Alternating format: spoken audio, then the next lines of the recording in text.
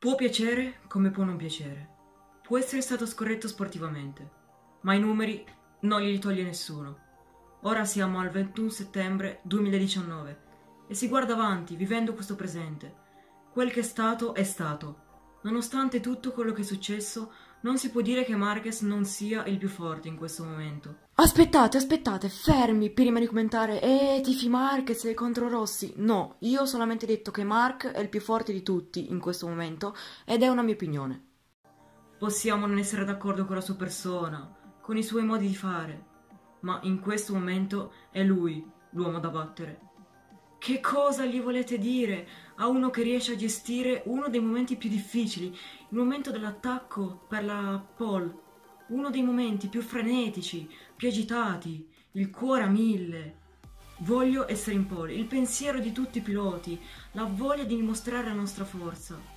Lui riesce a rimanere calmo in quella situazione, in più ha molto margine ancora di miglioramento.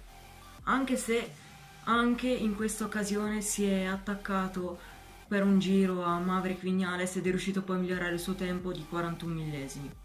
Però io penso che il migliore di questa qualifica sia stato Fabio Quartararo, quel ragazzo francese di Nizza che ha un talento veramente assurdo, 20 anni, rookie, quindi primo anno in MotoGP, velocità di punta sul rettilineo di Argon 327 km/h contro i 340 di Marquez.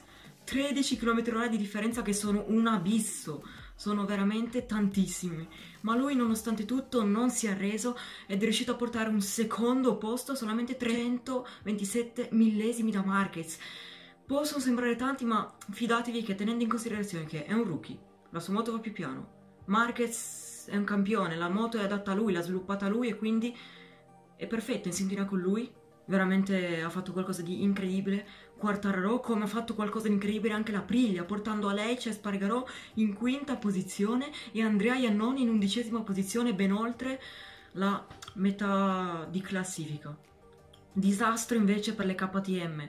Purtroppo Zarco è stato licenziato, al suo posto il collaudatore Caglio e Paul Espargarò che ha fatto qualcosa di davvero incredibile a Misano, ma purtroppo è caduto qua e non ha partecipato alle qualifiche, quindi la KTM scenderà in pista con solamente il finlandese.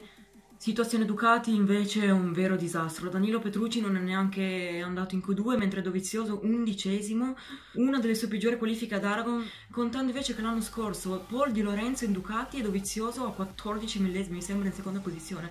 È cambiato tutto. Questo fa capire come la MotoGP sia, sia davvero imprevedibile. Ottima invece le Yamaha, le Yamaha come ho già detto Quartararo secondo, Vignales terzo e Valentino Rossi con i suoi 40 anni ancora lì in sesta posizione, ma ragazzi quello che mi fa riflettere è come la Honda vada molto più veloce soprattutto della Yamaha perché 13 km orari di differenza sono davvero tantissimi si fa la differenza con quelli, soprattutto in una pista come Aragon dove l'ultimo rettilineo è molto lungo. Infatti Quartararo è arrivato al terzo settore che aveva 8 millesimi di vantaggio su Marquez, ha perso 3 decimi nell'ultimo rettilineo. Però sono sicuro che con l'aiuto suo la Yamaha potrà migliorare molto. Nell'intervista poi ha dichiarato di non avere il passo di Marquez, può averlo per due, massimo tre giri, però come sappiamo la gara è tutta un'altra cosa rispetto alla qualifica, quindi vedremo, vedremo cosa accadrà domani. Spero con tutto il cuore di essere riuscito a trasmettere a voi la mia passione per le moto, a coinvolgervi, perché alla fine per me è questo che conta. Ok, vi ho detto tutto quello che mi premeva dirvi. Se vi va iscrivetevi, un bel like e ci si becca.